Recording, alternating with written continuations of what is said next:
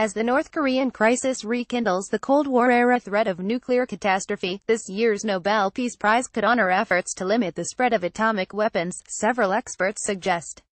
With tensions between Washington and Pyongyang sending the risk of a nuclear confrontation soaring, the highlight of the Nobel Awards season will be announced in Oslo on Friday the 6th of October at 1100 MO 900 GMT. Who will bag the prestigious prize is anyone's guess, as the names of candidates, a total of 318 this year, are by convention kept a closely guarded secret for 50 years. After President Juan Manuel Santos won the prize last year for his efforts to bring peace to Colombia following a half-century-long conflict with rebel guerrillas, a peace prize honoring non-proliferation efforts would be appropriate this year, commentators say. The Nobel Committee would make a big splash if it awarded the prize to the Iran nuclear deal, said Asle Sveen, a Peace Prize historian. He said the honor could in such case go to former U.S. Secretary of State John Kerry, Iranian Foreign Minister Mohammad Javad Zarif and EU Foreign Policy Chief Federica Mogherini, key architects of the landmark 2015 accord. The Iran deal, concluded with six world powers the US, Britain, China, France, Russia and Germany curbed Tehran's nuclear program in exchange for a lifting of most economic sanctions. Its supporters say the accord ensures Iran cannot pursue an atomic bomb and shows how open dialogue can defuse even the most high-stakes crises.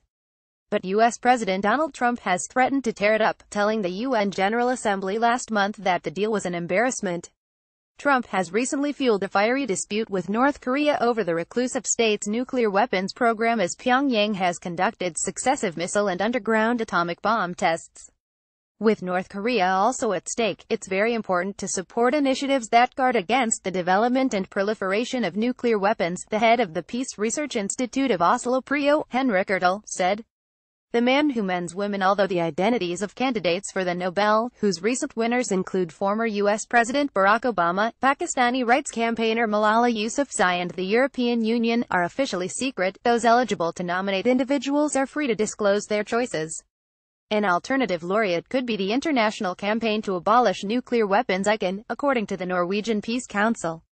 A coalition of non-governmental organizations, ICAN pushed for the adoption of a historic nuclear weapons ban treaty, signed by 122 countries in July but of a largely symbolic nature without the participation of the nine nuclear powers. Other favorites for the prize include the UN Refugee Agency UNHCR, possibly with its Italian chief Filippo Grandi, as the number of people uprooted by conflicts worldwide hit a new record of 65.6 million last year. The UNHCR has already won the Peace Prize twice, in 1954 and 1981. Peter Wallensteen, a professor at Sweden's Uppsala University, meanwhile, said he thought this year's nod could go to Congolese Dr. Denis Mukwege, nicknamed the man who mends women for his treatment of survivors of sexual violence. Independent Voices Syria's White Helmets Rescue Service and Pope Francis are also believed to be on the list of contenders.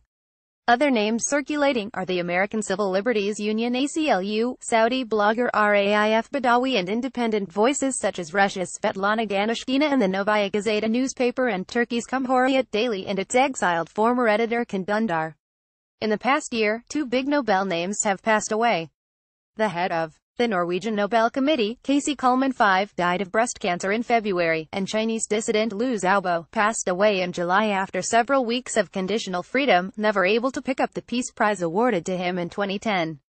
There has also been broad disappointment over Aung San Suu Kyi, the 1991 Peace Laureate who has been widely criticized for her failure to stop the atrocities being committed against the Muslim Rohingya minority in Myanmar.